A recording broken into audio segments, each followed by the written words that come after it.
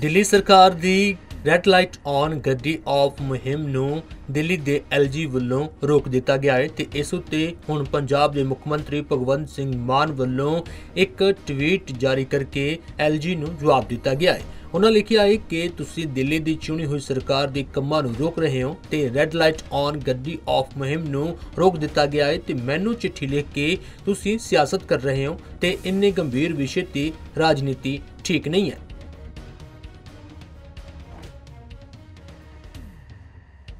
ਦਿੱਲੀ ਸਰਕਾਰ ਦੀ red light on ਗੱਡੀ ਆਫ ਮੁਹਿੰਮ ਨੂੰ ਦਿੱਲੀ ਦੇ ਐਲਜੀ ਵੱਲੋਂ ਰੋਕ ਦਿੱਤਾ ਗਿਆ ਹੈ ਤੇ ਇਸ ਉੱਤੇ ਹੁਣ ਪੰਜਾਬ ਦੇ ਮੁੱਖ ਮੰਤਰੀ ਭਗਵੰਤ ਸਿੰਘ ਮਾਨ ਵੱਲੋਂ ਇੱਕ ਟਵੀਟ ਜਾਰੀ ਕਰਕੇ ਐਲਜੀ ਨੂੰ ਜਵਾਬ ਦਿੱਤਾ ਗਿਆ ਹੈ। ਉਹਨਾਂ ਲਿਖਿਆ ਹੈ ਕਿ ਤੁਸੀਂ ਦਿੱਲੀ ਦੀ ਚੁਣੀ ਹੋਈ ਸਰਕਾਰ ਦੇ ਕੰਮਾਂ ਨੂੰ ਰੋਕ ਰਹੇ ਹੋ ਤੇ ਰੈੱਡ ਲਾਈਟ ਔਨ ਗੱਡੀ ਆਫ ਮੁਹਿੰਮ ਨੂੰ ਰੋਕ ਦਿੱਤਾ ਗਿਆ ਹੈ ਤੇ ਮੈਨੂੰ ਚਿੱਠੀ ਲਿਖ ਕੇ ਤੁਸੀਂ ਸਿਆਸਤ ਕਰ ਰਹੇ ਹੋ ਤੇ ਇੰਨੇ ਗੰਭੀਰ ਵਿਸ਼ੇ ਤੇ ਰਾਜਨੀਤੀ ਠੀਕ ਨਹੀਂ ਹੈ।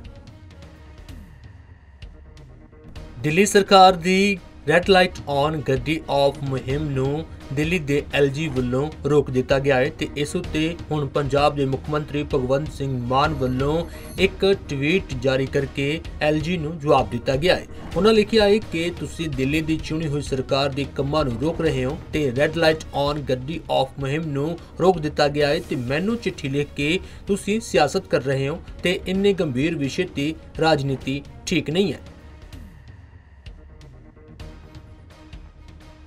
ਦਿੱਲੀ ਸਰਕਾਰ ਦੀ ਰੈੱਡ ਲਾਈਟ ਔਨ ਗੱਡੀ ਆਫ ਮੁਹਿੰਮ ਨੂੰ ਦਿੱਲੀ ਦੇ ਐਲਜੀ ਵੱਲੋਂ ਰੋਕ ਦਿੱਤਾ ਗਿਆ ਹੈ ਤੇ ਇਸ ਉੱਤੇ ਹੁਣ ਪੰਜਾਬ ਦੇ ਮੁੱਖ ਮੰਤਰੀ ਭਗਵੰਤ ਸਿੰਘ ਮਾਨ ਵੱਲੋਂ ਇੱਕ ਟਵੀਟ ਜਾਰੀ ਕਰਕੇ ਐਲਜੀ ਨੂੰ ਜਵਾਬ ਦਿੱਤਾ ਗਿਆ ਹੈ। ਉਹਨਾਂ ਲਿਖਿਆ ਹੈ ਕਿ ਤੁਸੀਂ ਦਿੱਲੀ ਦੀ ਚੁਣੀ ਹੋਈ ਸਰਕਾਰ ਦੇ ਕੰਮਾਂ ਨੂੰ ਰੋਕ ਰਹੇ ਹੋ ਤੇ ਰੈੱਡ ਲਾਈਟ ਔਨ ਗੱਡੀ ਆਫ ਮੁਹਿੰਮ ਨੂੰ ਰੋਕ ਦਿੱਤਾ ਗਿਆ ਹੈ ਤੇ ਮੈਨੂੰ ਚਿੱਠੀ ਲਿਖ ਕੇ ਤੁਸੀਂ ਸਿਆਸਤ ਕਰ ਰਹੇ ਹੋ ਤੇ ਇੰਨੇ ਗੰਭੀਰ ਵਿਸ਼ੇ ਤੇ ਰਾਜਨੀਤੀ ਠੀਕ ਨਹੀਂ ਹੈ।